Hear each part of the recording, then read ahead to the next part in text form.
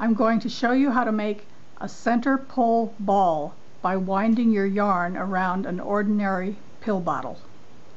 First you take the bottle top off and then you put the yarn in the bottle and put the top back on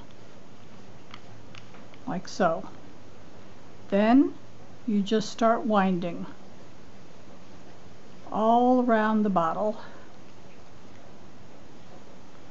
Then you're going to kind of smush it around like so, turn it, smush it around again, turn it, and just keep winding it around. And you'll see that it starts making itself into a ball. Rounded on the bottom. And by turning it rounded on all sides. Keep doing that until the ball is as big as you want it to be.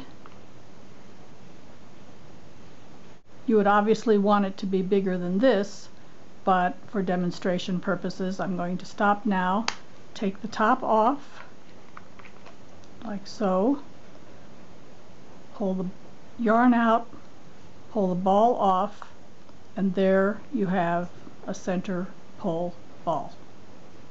Voila!